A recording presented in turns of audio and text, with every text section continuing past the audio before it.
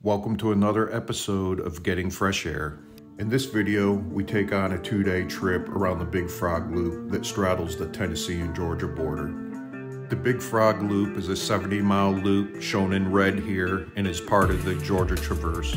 We travel clockwise around the loop, with the blue being our day one route and the red being our day two route. The day before we set out on this loop, we staged and camped at the Thunder Rock campground on the Ocoee River. We made a video review of that campground and we'll put the link in the description below and at the end of this video.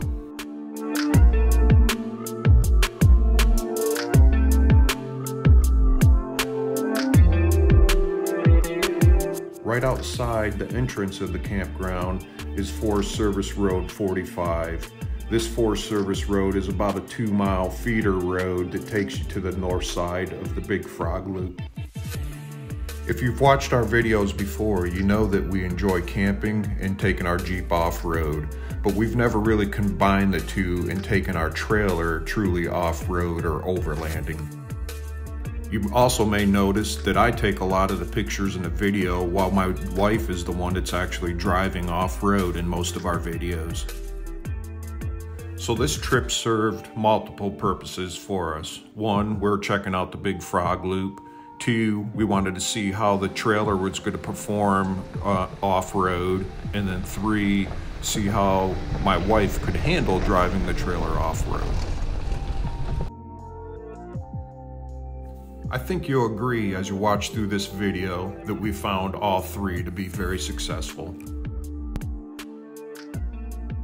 As you get to the end of Forest Service Road 45, you come to the T intersection and you have the decision of going left and clockwise around the loop or right and counterclockwise.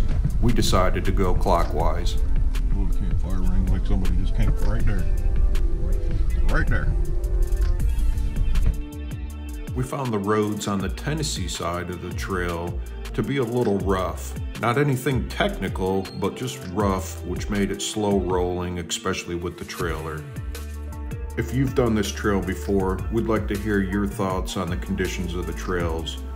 Our perspective, we found that the Tennessee side was very rough and there was a distinct di difference once you passed into Georgia and the trail smoothed out.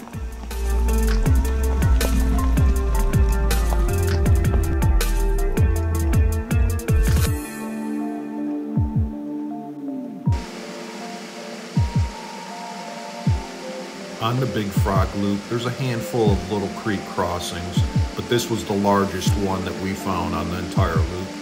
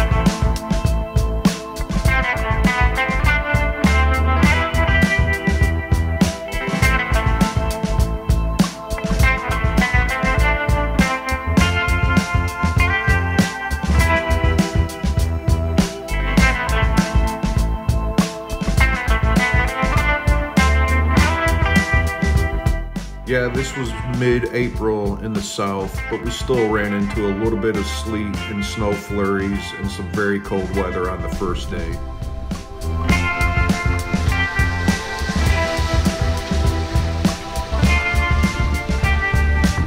Around the loop, you'll find three or four established campgrounds and many dispersed camping spots.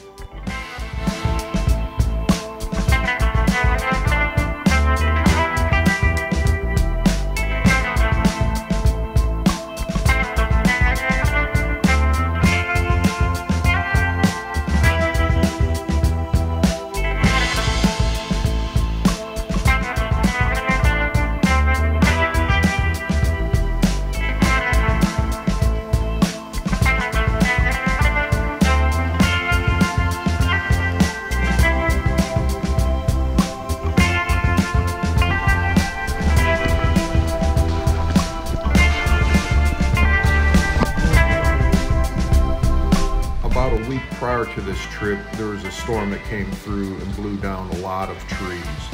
The trail overall was clear and we didn't have to cut any trees, but there were a lot of low hanging trees here and there. There's a lot of little waterfalls and pull-offs around the loop, and this one was a great one to stop and stretch our legs, let the dogs out, and grab some lunch.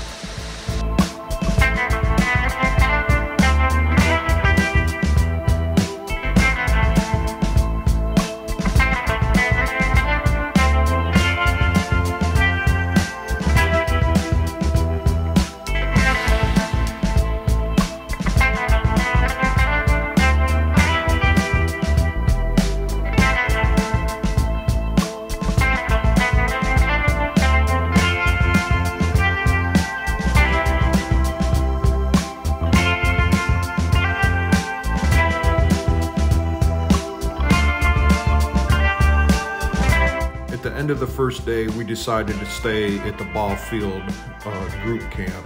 This is a large field that can handle multiple uh, camping sites, whether you're in vehicles or hiking. Uh, it is on, obviously, on the Big Frog Loop. It also is on the Georgia Traverse, and there are uh, multiple hiking trails that intersect here. So sometimes it can get busy, but it's a large field that can handle a lot of camping. And the best part is, it's a free campsite.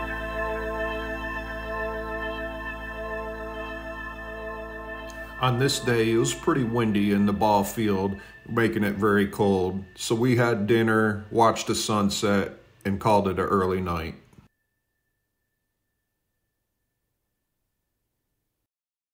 The next morning, we were greeted with a beautiful sunrise, but a frosty 28 degrees. We basically had coffee, a light breakfast, packed up camp, and got on the trail right away. This was going to be a long day for us because not only were we finishing the second half of the Big Frog Loop, we were also heading all the way back home to Alabama, which is about a three hour drive once we got off the trail. You can see here the trail in and out of the ball field camping area is a little rutted up, but we had no problem even with the trailer. The entrance of the ball field camping area also serves as a parking area for the trailheads you can see here, even on an early Sunday morning, there's a lot of people here already to go on a hike.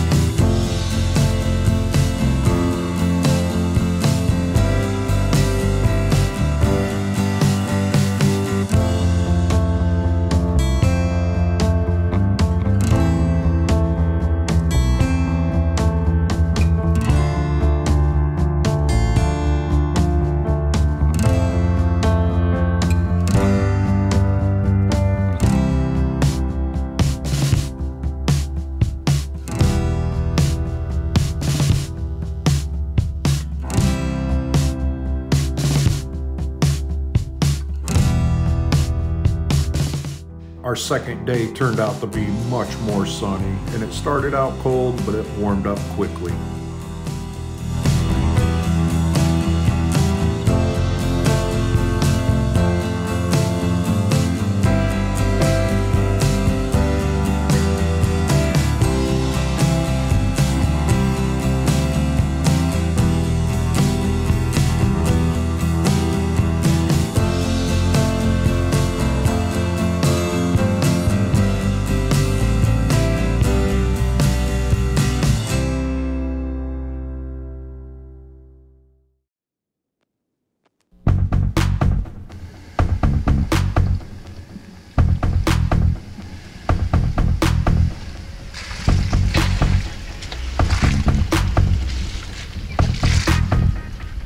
Some of the areas on the west side of the loop, we found the trails got wide enough for two-way traffic passing with no problems. We also found some farm, farm pastures uh, that was a lot different scenery than on the day before on the east side of the trail.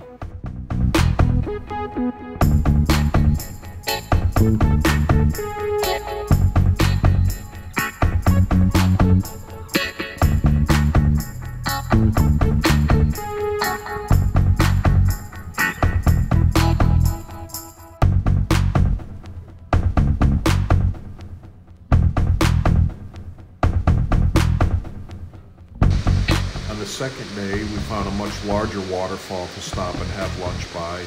There were trees down in front of it from the previous storm, but it was still a really nice spot to stop.